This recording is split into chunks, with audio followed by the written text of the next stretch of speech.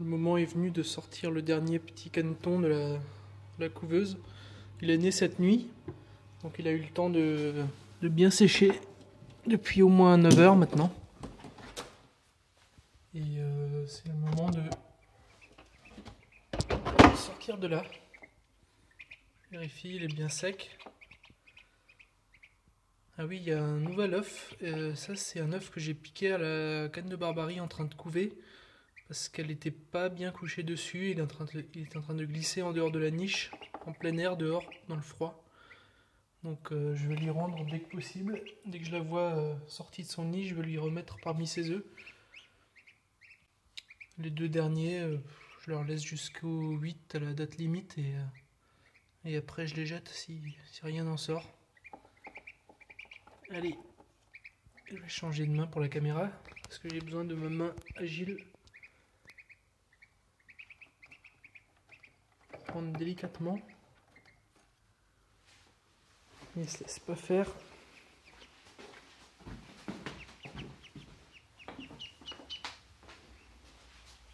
Il est beaucoup plus petit que les autres, donc j'espère que ça va pas poser un problème ça. Le premier truc à faire quand je sors un nouveau caneton, c'est que je lui mets le bec dans l'eau. Je m'assure qu'il ait le bec dans l'eau et qu'il ait bu au moins une fois. Parce que là, ça fait quelques heures qu'il est au chaud dans son dans sa couveuse. Maintenant, je vais le surveiller un peu pour vérifier qu'il se fasse pas trop attaquer. Au début, c'est un peu la, curiosité du village, donc euh, tout le monde va lui euh, va y goûter. Il faut goûter tout ce qui est nouveau dans la boîte de toute façon.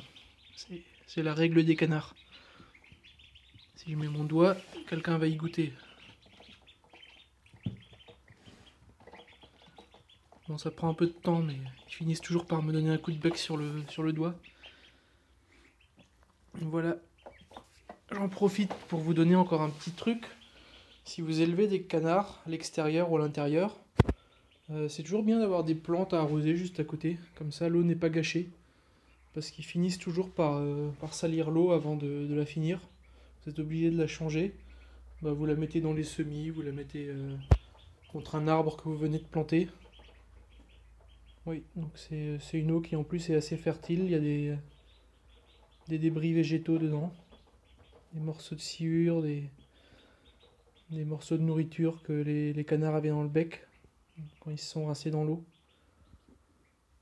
Allez, on va le mettre sur la sciure. Un petit coup de bec dans l'eau encore pour s'assurer qu'il a bu. Et je lui remets la lampe chauffante au-dessus de la tête.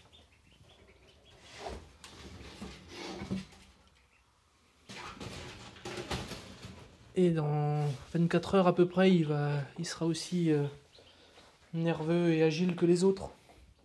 Mais c'est impressionnant la différence de taille entre un caneton de, de 5 jours et un caneton qui vient de naître.